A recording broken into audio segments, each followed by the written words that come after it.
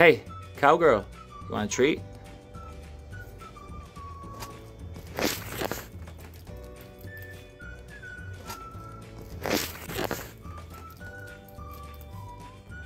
Oh my gosh.